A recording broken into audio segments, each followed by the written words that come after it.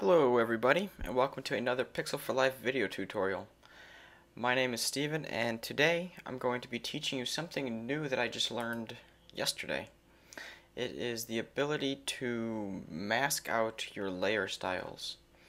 Um, I was going to do a quick tip on this but I thought it might be a little too short so I decided to do something something cooler and since YouTube was doing something for Sesame Street I decided to create the Sesame Street logo. Really simple but it gives me the ability to teach you this trick. So what I want to do is start off with a green color and I'm just going to grab this. Um, you can copy this hex code if you want, it doesn't really matter. It's 06A966. Oops. Let me grab that again. Okay, then I'm going to grab the rounded rectangle tool with a radius of 15 pixels. You can mess with this, I just found this to be a pretty good size and then I'm going to stretch this out. We can edit it later if we if we feel we have to but I'm going to leave it at that for now. Looking good.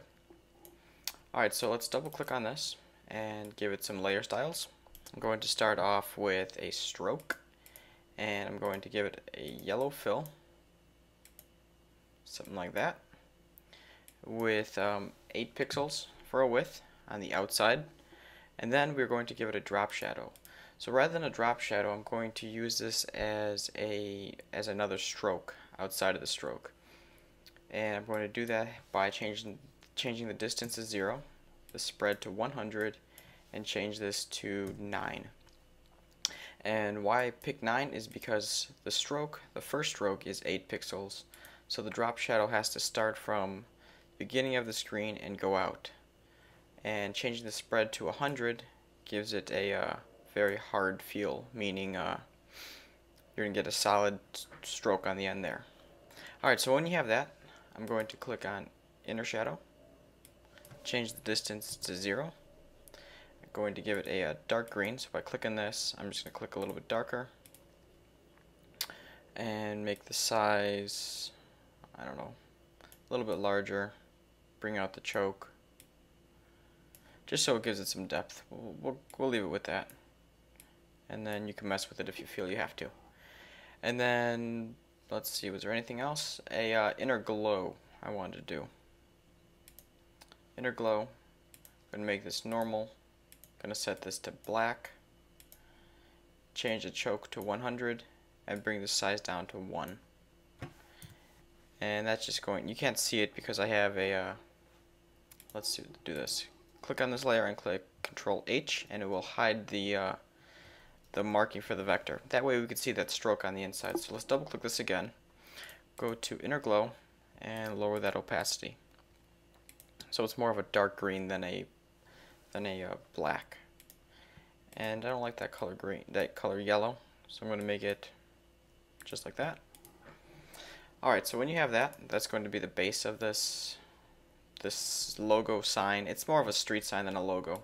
Here's the final product. Very simple but that's what we're going after. So we want to make another shape, and it's going to be just a circle. So grab your ellipse tool, hold down shift, and drag out a circle. Something about that. Hold down alt, and click on the effects, and just duplicate to the top there. And then we're going to drag this below that shape layer. And select both of these, and center it. Oops. Let's bring it down. Okay, so now this is the fun part. What I want to do is hide the stroke and the drop shadow so this looks more like one piece rather than a piece behind it. And normally, if I were to add a layer mask to this layer, and then go to mask it out, um, it's not even doing anything. Let's see. Alright, so here's some a bigger example. If I were to mask this out now, as you can see, it continues along the layer style, and I don't want that. But if I double click on here, and I check this right here, layer mask hides effect. Click that, click OK, go to layer mask, and you can see that it actually masks out the effect. This is really nice, and I didn't know that was possible. So what I'm going to do come over to here, zoom in, and just mask that out. And it looks like this side's masked out already. So I'm going to leave it at that. And that right there is the trick. That right there is worth about $45. I'll let you pay me uh, via PayPal. Thank you. So let's finish off this sign. Let's just grab a white text tool, uh, text with white font. Click and drag here. I'm going to make it the width of this sign. The inside width. And then I'm going to write Sesame Street, and I'm using Arial Bold. Don't know if that's the correct font, but it really doesn't matter. And then you want the restricted sign, so I'm going to hold down Alt and click R. And then let's select all of this and scale it up. Something like this. Select this R. And let's scale that way, way down. 14 pixels is good. And then center it. Bring this down.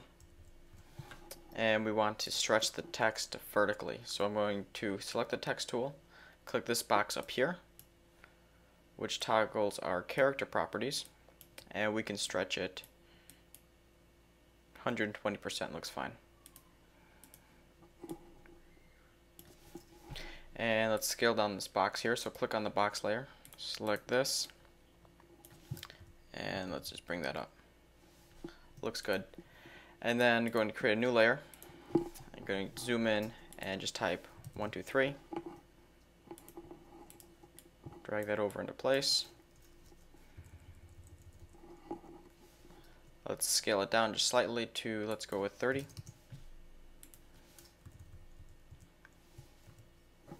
And then let's just give it a sweet background so we can uh, finish this off. Going to go with light blue. Double click to unlock that background layer. Double click it again. Add a, let's uh, make our colors default by clicking D and then X to make the white the foreground. Double click. Gradient overlay. Change it to radial. Click. And select this one right here, which will be white to nothing.